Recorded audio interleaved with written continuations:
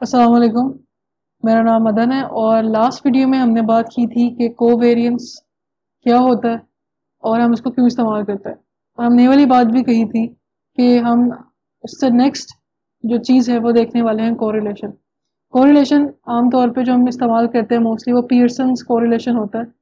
मुख्तु किस्म का कोरिलेशन भी इस्तेमाल किए जा सकते हैं, लेकिन जो जनरली इस्तेमाल होता है वो पियर्सन कोरिलेशन इस्तेमाल किया जाता है। आज हम इसको देखने वाले हैं और इस वीडियो में हम बेसिकली किन किन चीज़ों को देखने वाले हैं, कि कॉरिलेशन क्यों ज़रूरी है, होता क्या है, इसकी मुख्तलिफ़ किस्म की टाइप्स क्या हैं, और किन चीज़ों पे कॉरिलेशन डिपेंड होता है, और इसको कैलकुलेट अगर मैनुअली करना चाहते हैं तो वो किस तरह करते हैं। तो हम इसको शुरू करते हैं। अपने एग्ज़ाम्पल से जो हमने लास्ट वीडियो में भी देखा था, जब हम कोवेरियंस को कैलकुलेट कर रहे थे कोवेरियंस को देख रहे थे, हमारी बात ही यहाँ से शुरू हुई थी कि अगर हम दो वेरिएबल्स के दरमियान में रिलेशन देखना चाहते हैं कि उनका रिलेशन क्या है? कोई इन, इनके दरम्यान में रिलेशन बन रहा है तो किस तरह का बन रहा है? वो हमारा एक आंसर जिसमें हमने पिछली वीडियो में बात की थी कोवेरियंस हो सकता है। और उसके हमने देखे थे कितनी लिमिटेशंस उसकी हैं। यहाँ पे हम बात करेंगे उसके एक आंसर की कि वो को किस तरह उन लिमिटेशंस को पूरा करता है। ठीक है? तो यहाँ पर भी हमने वही वाली बात की है हमने एक लाइन ड्रॉ करके देख ली है जिसको हम कहते हैं कि एक फिट लाइन करनी है जो हमारे पास सैंपल पॉइंट्स हैं। और उस फिट लाइन का असर बता, किस तरह होगा कि अगर हम यहाँ पे कोई वैल्यू लेकर आते हैं अननोन हाइट की या अननोन वैल्यू लेकर आते हैं वेट की तो हम उसे कोई दूसरी वैल्यू फाइंड कर सकते हैं। ये लाइन का असल में मकसद हमारे पास ये होता है कि अगर हम कोई दो वेरिएबल्स के दरमियान में रिलेशन बता रहे हैं तो हम असल में उनको प्रोडिक्ट भी कर सकें। तो अगर वो पॉइंट्स लाइन के बहुत करीब हो या बिल्कुल लाइन के ऊपर ही हो तो हम कहेंगे कि इन दोनों वेरिएबल्स के दरमियान में स्ट्रॉन्ग रिलेशन है। स्ट्रॉन्ग रिलेशन किस तरह कहते हैं हम? कि मैंने यहाँ पर कहा कि मुझे ये जो हाइट है फॉर एग्जांपल ये हाइट है फाइव फुट की।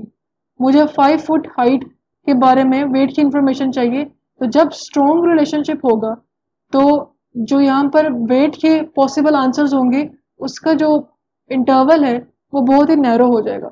ठीक है? और सेम केस अगर मुझे वेट मुझे पता है कि वेट इतना के में है और इस लाइन के थ्रू अगर सारे पॉइंट्स लाइन के ऊपर हैं, बहुत लाइन के करीब हैं तो वो मुझे हाइट का बहुत ही छोटा इंटरवल बताएँगे कि पॉसिबल आंसर या पॉसिबल वैल्यू इस इंटरवल में फॉल कर सकते हैं या ये वैल्यू है। ठीक है?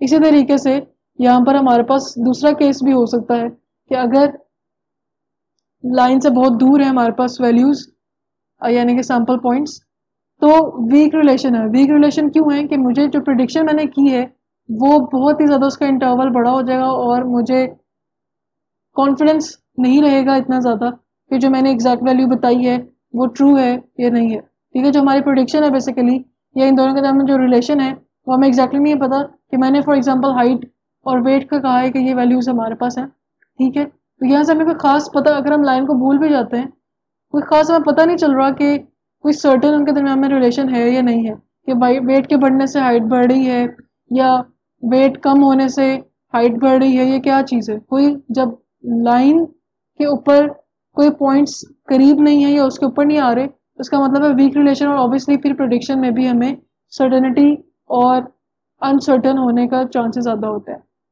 लेकिन एक बात यहाँ पर अहम ये है कि जब हम ये वाली बात करते हैं कि एक चीज़ हम दूसरी चीज़ प्रिडिक्ट कर रहे हैं तो यहाँ पर हमें बहुत अहम चीज़ है वो जहन में रखनी चाहिए कि हम कॉज वाली बात नहीं कर रहे हम ये नहीं कह रहे कि हाइट पाँच फुट हो, होगी तो उससे वेट इतना हो जाएगा, ठीक है? या वेट इतना होगा तो हाइट इतनी हो जाएगी। हम कॉज वाली बात नहीं करें हम सिर्फ़ रिलेशन की बात करेंगे इन दोनों के दरम्यान में रिलेशन के क्योंकि कॉज तो मुख्तलिफ़ चीज़ें हो सकती हैं।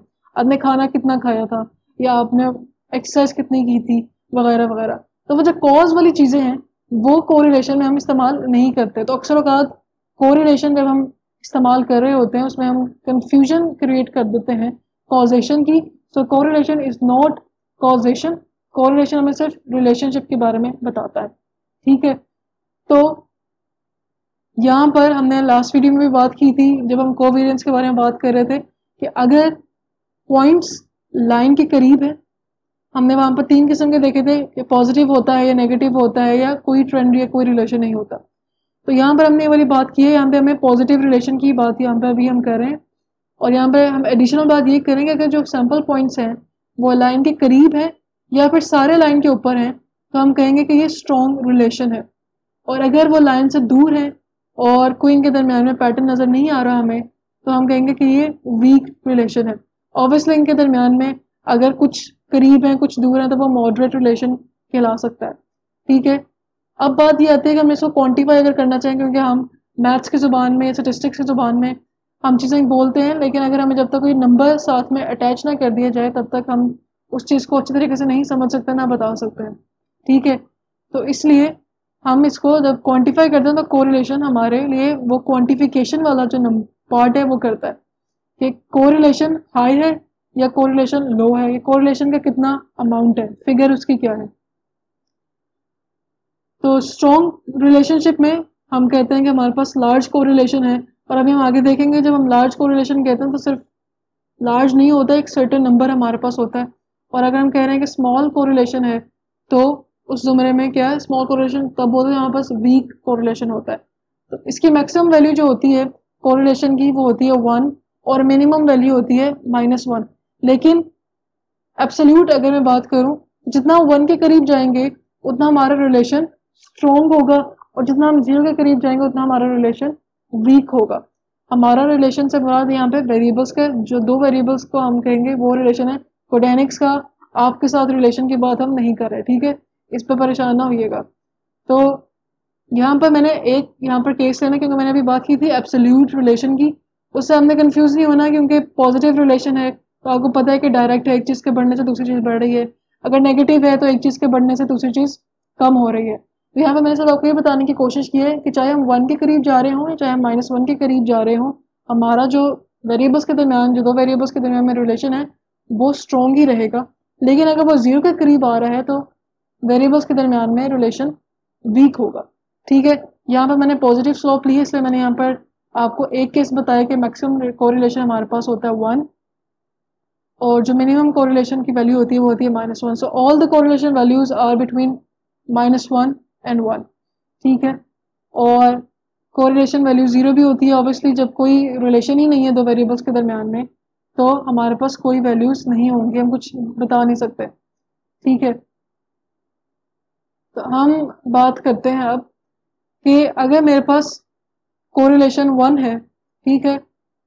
और दैट इज़ हाई कोरिलेशन क्योंकि आप देखें सारे पॉइंट्स इस वक्त लाइन के ऊपर फॉल कर रहे हैं। कोरिलेशन वन तब भी होगा जब मेरे पास लार्ज स्लोप है यानी कि इसी वाली पोजीशन और कोरिलेशन वन तब भी होगा जब मेरे पास स्लोप स्मॉल है। यानी कि स्लोप के तब्दील होने से हमारे, जो वेरिएबल्स का रिलेशन है, उसमें कोई फ़र्क नहीं पड़ता। ठीक है? दोनों केसेस में कोरिलेशन वन है, चाहे स्लोप बहुत ज़्यादा हो, चाहे स्लोप दरमियान में हो, चाहे स्लोप बहुत कम हो। ठीक है? लेकिन अगर हम ये कहें कि हमने तो देख लिया कि स्लोप के तब्दील होने से कोरिलेशन में फ़र्क नहीं पड़ता। क्या डेटा के कम या ज़्यादा होने से कोरिलेशन में फ़र्क पड़ता है? बात हम करते हैं दो डेटा पॉइंट से। आपको अच्छी तरीके से पता है कि जितने भी दो हमारे पास पॉइंट्स होते हैं, चाहे वो कहीं पर भी एग्जिस्ट बहुत दूर हो, बहुत करीब हो, कहीं पर भी हो दो पॉइंट्स उनमें से हम आराम से एक लाइन गुजार सकते हैं। यानी कि दो पॉइंट्स को एक लाइन तो ऑब्वियसली हमेशा टच करेगी। तो उसका कोरिलेशन वन ही होगा, यानी कि स्ट्रॉन्ग ही कोरिलेशन होगा। वन मैंने इसलिए कहा है कि पॉजिटिव केस जो मैंने बात कर रहे हैं, आप नेगेटिव भी ले सकते हैं। मैंने सिर्फ़ यहाँ पर एक केस लिए वो केस अप्लाई नेगेटिव पे भी हो सकता है, ठीक है? तो यहाँ पर दो पॉइंट्स हैं, लेकिन कोरिलेशन फिर भी हाई है। इसका क्या मतलब है कि चाहे कोरिलेशन हाई है, लेकिन अगर मैंने प्रिडिक्शन करनी है कि मेरे पास ये वैल्यू है तो जो मेरी प्रिडिक्शन होगी, वो बहुत ज़्यादा मैं कॉन्फिडेंट नहीं हूँ उस प्रिडिक्शन के बारे से, क्योंकि बहुत दूर पॉइंट्स है फॉर एग्जांपल और दरमियान में मैंने एक पॉइंट की प्रोडिक्शन करनी है तो जो मैंने जिस चीज़ को निकालना है, उसकी वैल्यू तो बहुत ज़्यादा वाइड हो जाएगी पॉसिबल वैल्यूज़ ठीक है? इसलिए मैं बहुत ज़्यादा कॉन्फिडेंट नहीं हूँ राइट अगर मैं तीन पॉइंट को ले लूँ ओबियसली तीन पॉइंट को अगर ले लूँ तो उस जुमरे में मेरे पास कॉन्फिडेंस ज़्यादा हो सकता है। इसलिए दो पॉइंट चाहे, जहाँ मर्ज़ी भी हो, मेरा confidence in terms of prediction low ही रहेगा। सो so, यहाँ पर मैंने और अभी हमने क्या बात की है? तो यहाँ पे अभी हमने क्या बात की है? कि कोरिलेशन ज़्यादा है लेकिन सिर्फ़ पॉइंट्स दो ही हैं। उस कोरिलेशन का या स्ट्रॉन्ग रिलेशन का कोई फ़ायदा नहीं होगा क्योंकि हमारा confidence in terms of prediction कम है उसके ऊपर।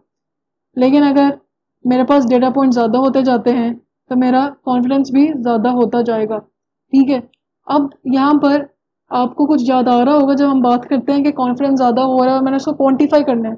हम जब स्टेटिस्टिक्स में होते हैं या डेटा साइंस की फ़ील्ड में होते हैं, हम नंबर्स के ज़ुमरे में बात कर रहे होते हैं। ठीक है?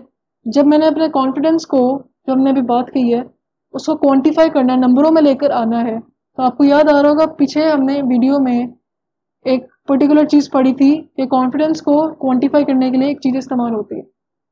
अगर आपको याद आ रहा है तो अभी मुझे कमेंट सेक्शन में ज़रूर बताएँ। और अगर आपको याद नहीं आ रहा तो या तो आपने पीछे कोई वीडियो स्किप की है, या फिर आपने जल्दी से उस कॉन्सेप्ट को गुजार दिया और आपको अभी याद नहीं आ रहा तो आप जाकर वो वीडियो ज़रूर देखें। और उस वीडियो का नाम है पी वैल्यू जब भी मैंने कॉन्फिडेंस को क्वांटिफाई करना है तो मुझे पी वैल्यू का सहारा लेना पड़ेगा बताने के लिए कि मुझे कितना कॉन्फिडेंस है अपने इस नंबर के ऊपर। ठीक है?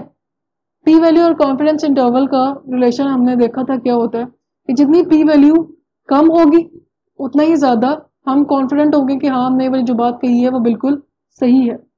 ठीक है?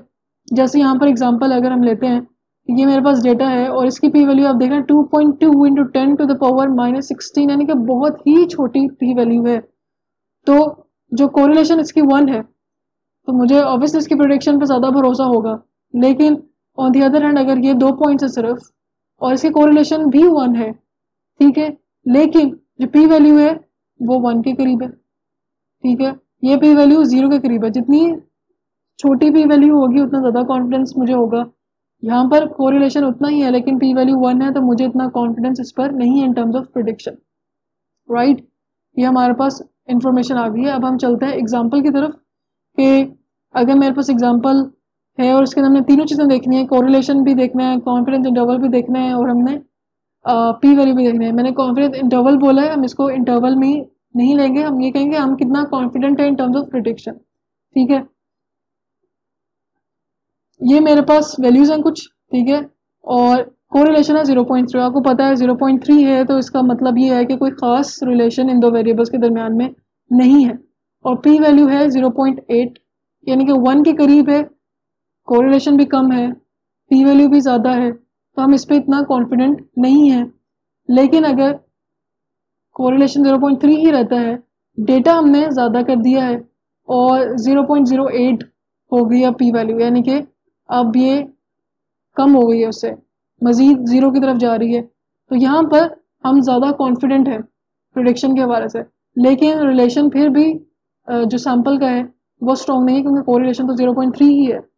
ऑन दी अदर हैंड अगर मैं डेटा और मज़ीद कर दूँ पी वैल्यू तो मज़ीद ज़ीरो के करीब होती जा रही है, लेकिन को रिलेशन पर कोई फ़र्क नहीं पड़ा। तो ये बहुत अहम चीज़ है जो हमने पीछे देखा था कि को वेरियंस स्केल सेंसिटिव है। जितना ज़्यादा हम डेटा करते जाएँगे को रिलेशन पे उसका फ़र्क नहीं पड़ेगा। यहाँ पर डेटा कम था, यहाँ पर डेटा उससे ज़्यादा हो गया, यहाँ पर डेटा और ज़्यादा हो गया, लेकिन को रिलेशन की वैल्यू ज़ीरो पॉइंट थ्री ही है। लेकिन पी वैल्यू कम से कम होती जा रही है। और तो यहाँ पर एक और बहुत अहम पॉइंट है कि कोई एक चीज़ सिर्फ़ काम नहीं करती जब हमने इन्फ्रेंस करना होता है, हमने अपनी स्टडी को पेश करना होता है, जब हमने उसमें से कोई अहम चीज़ निकालनी होती है। मैं सिर्फ़ कोरिलेशन की बुनियाद पे एक बात कह दूँ कि मेरा कोरिलेशन बहुत ज़्यादा था, जबकि मैंने सिर्फ़ दो पॉइंट्स लिए उसका कोई फ़ायदा नहीं है। ठीक है, आपको दिखने में तो अच्छा लगेगा, लिखने में अच्छा लगेगा कि कोरिलेशन वन आ गया या कोरिलेशन वन के करीब था या कोरिलेशन माइनस वन के करीब था, लेकिन आपका डेटा तो बहुत थोड़ा था। या आपकी जो पी वैल्यू है वो वन के करीब थी, उसका कोई फ़ायदा नहीं। लेकिन अगर पी वैल्यू आप बढ़ा लेते हैं सॉरी कम कर लेते हैं ज़ीरो के करीब, और कोरिलेशन आपका छोटा है, यानी कि कोई रिलेशन ही नहीं है वेरिएबल्स के दरम्यान में तो भी उसका कोई फ़ायदा नहीं है। उस पी वैल्यू का, उस छोटी पी वैल्यू का वो कोई फ़ायदा नहीं है। इसका सब चीज़ों को आपको देखना पड़ेगा। सिर्फ़ एक चीज़ पे फोकस करके आप इन्फ्लुएंस नहीं कर सकते, या आप अपनी स्टडी को पेश नहीं कर सकते, या फाइनल नहीं कर सकते। इसलिए आपको हर एक चीज़ को देखना पड़ेगा ताकि जो आपने फाइनल प्रेजेंट करना है या आपने इंटरप्रेट करना है, वो बिल्कुल सही और एक्यूरेट हो। ठीक है? अब चलते हैं कि हमने इसको कैलकुलेट किस तरह करना है।